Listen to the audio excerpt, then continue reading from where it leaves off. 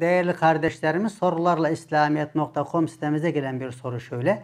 Kötülüğe iyilikle karşılık vermeye dair bir ayet var mı? Evet.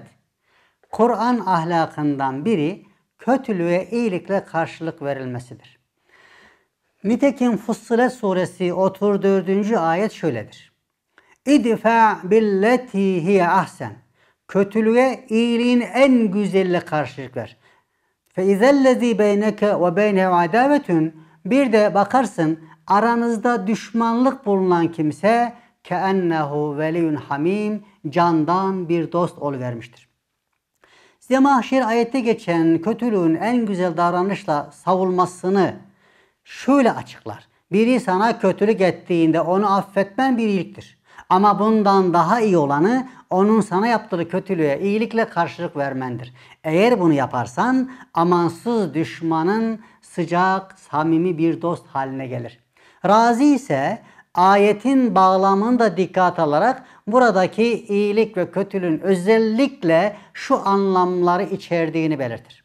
İyilikten maksat Peygamberimizin insanları hak dine davet etmesi, inkarcıların küstahça davranışlarına sabretmesi, intikam peşinde koşmaması.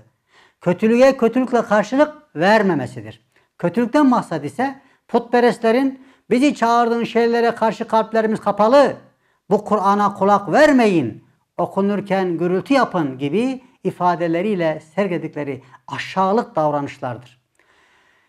Ayette bir bakıma şöyle buyurulmuş olmaktadır. Hepimizde bir ders olsun. Peygamberimizin makamında. Ey Muhammed sana yakışan davranış iyilik, onlara yakışan da kötülüktür. İyilikle kötülük bir olmaz. Yani eğer sen iyilik yaparsan dünyada saygınlığı, ahirette de sevabı hak edersin. Onlar da kötülükleri nedeniyle bunun tersini hak ederler. Şu halde onların kötülüklere yönelmeleri senin iyiliği sürdürmene engel olmamalı. Onların barbarca ve cahilce hareketlerini bütün tutumların en güzeliyle savmaya bak.